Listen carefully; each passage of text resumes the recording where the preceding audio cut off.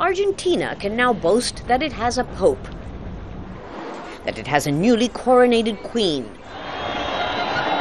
and of course that it has the world's best football player. On the downside, Argentina has its currency, the peso.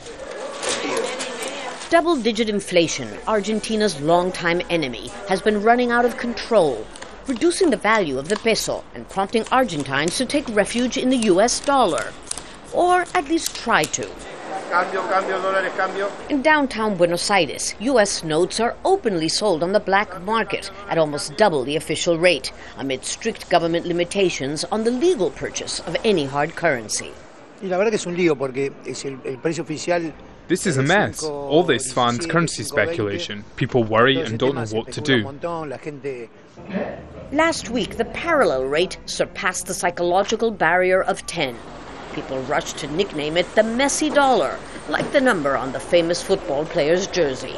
Doctora Cristina Fernandez. The cash strapped government is adamant it will not devalue the peso to stop the bleeding.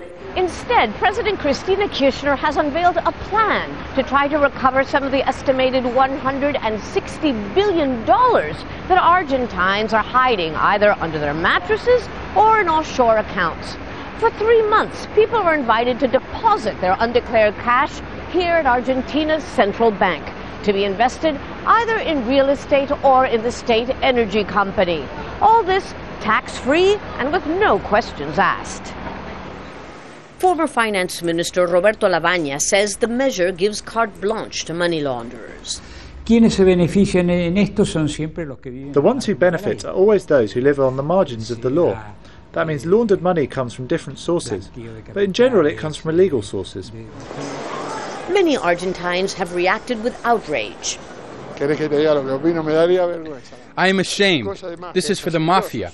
How can it be that a normal, honest citizen is forbidden from buying $1,000 to go on holiday abroad, while others, often corrupt members of the government, can easily launder their stolen money?